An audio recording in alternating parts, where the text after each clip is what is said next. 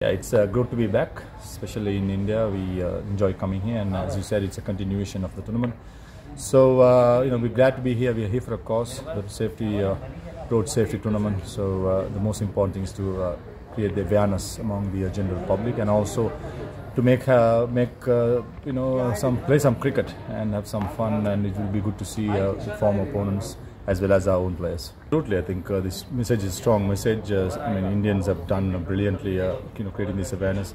I'm sure that uh, Sri Lankan authorities will be coming up with their own way of doing things as well. So, as you said, uh, getting a message across through sports, especially in uh, Asia, it goes a long way. So, I'm, I'm, I'm, hoping that Sri Lankan authorities will have something similar to this, and you know, discipline in driving, discipline in life is very important. So hopefully uh, we could uh, reduce the number of deaths uh, back home.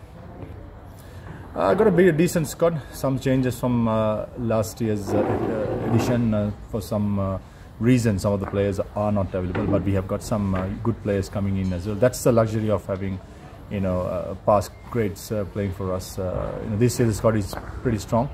We got 15 players compared to last year's 14 so get more options as well. So hopefully we will start well and uh, we could have some fun, you know, playing some cricket after a while and uh, hopefully uh, try and win this. I think toughest opponents, uh, I think Indians would be definitely playing uh, in their home, uh, at their home grounds and they will be definitely a force to reckon with and also you know, some young retired players are in their team so they are quite strong. So I think India is up there. For premium content and exclusive member benefits, subscribe to thepapare.com today.